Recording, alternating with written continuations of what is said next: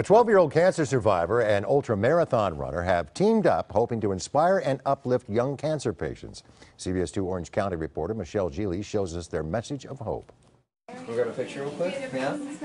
There were pictures and gifts, You can try to catch them. That's all for kids with cancer at Children's Hospital of Orange County who've been through a lot. I used to have a lot of hair too. Oh.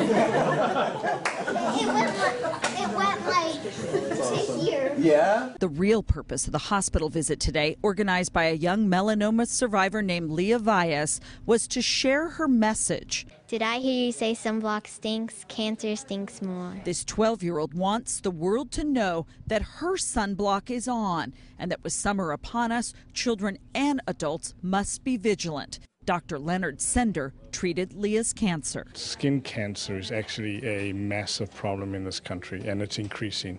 Melanoma, which is the most dangerous form, is increasing. When do people start getting it? When do they damage their skin? They damage their skin as kids and as teenagers. Leah Valles teamed up with ultramarathon runner Roy Wiegand to support kids fighting cancer. Wiegand set off this afternoon from CHOC Hospital to run 100 miles. He's dedicating each step to his son's friend, 12 year old Christopher Wilkie, who recently lost his battle with cancer. I'm going to think about Christopher and those other kids I just got to meet upstairs and their families and um, what they're going through. And um, if I get uncomfortable or a little tired, it, th- those kind of thoughts really put it in perspective. Like, I'm out here and I'm, I'm healthy and I'm able to do something like this. All right, guys. For the next 24 hours, Roy Wiegand will be running continuously with a few short stops for nutrition and bathroom breaks.